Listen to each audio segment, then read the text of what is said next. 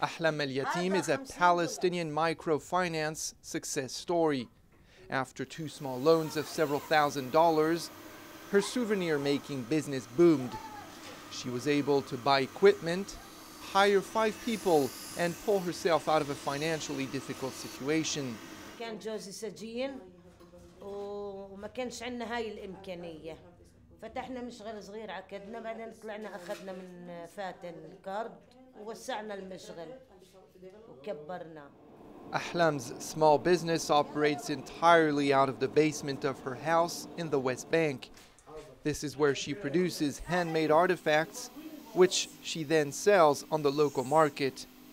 Now that her reputation is made, Ahlam's ambition is to continue growing her business.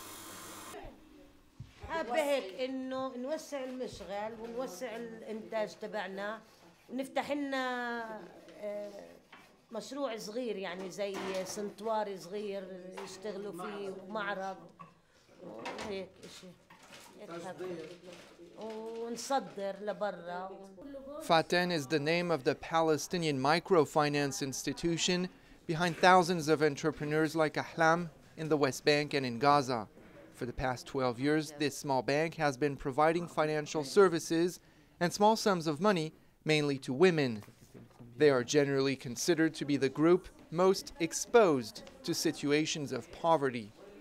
آه، الغنمات بدي عشان أصرف ل- على الأولاد بالغنم بدي آه، في عندي غنمات آه، هن يعني رأس المال بصرفن على الأولاد وب بالأولاد بجيبن يعني آه، خرفان والخروف بن بنبيعها وبضلين هن رأس المال The regional manager says that Faten's mission is to reach out to small Palestinian businesses in distress and to back them over the long run.